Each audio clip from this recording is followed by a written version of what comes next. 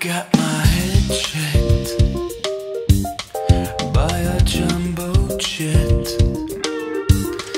It wasn't easy.